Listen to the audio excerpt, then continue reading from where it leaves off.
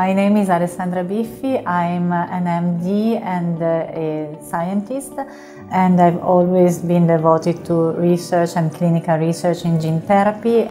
Over the past uh, 15 years in, in Milano, where I was working before joining Boston Children's, uh, we have been working on the development of a gene therapy treatment for MLD based on the use of uh, the patient's hematopoietic stem cells, so the, the blood cells of the patient, the mother cells of all of their blood, to treat their nervous system.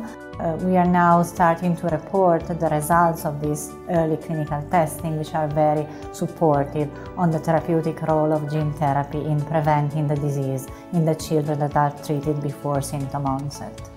We started this trial with very low expectations. So we had set up what we call a primary efficacy endpoints. So your expectation of benefit as a very minimum, minimum amount of benefit to be provided to the children. And when we started seeing that instead of developing a slightly milder disease, some of them were not developing disease at all, we were really enthusiastic. It's something that you cannot expect and you cannot believe. We're just really experiencing joy because it's more than you could have uh, expected. My job and my goal here is try to uh, support this development in a way that is providing new hints and new tools and new ways to make it even more efficacious than it is.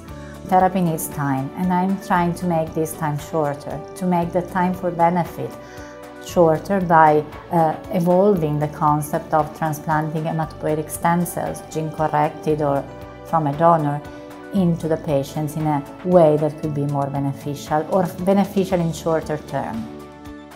I have to say that these children, they became part of my life, of my family.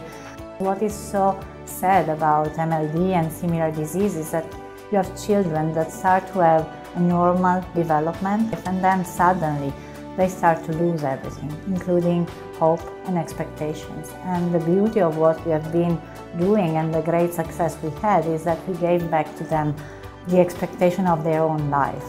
And this is what makes this so relevant and so passionate in us.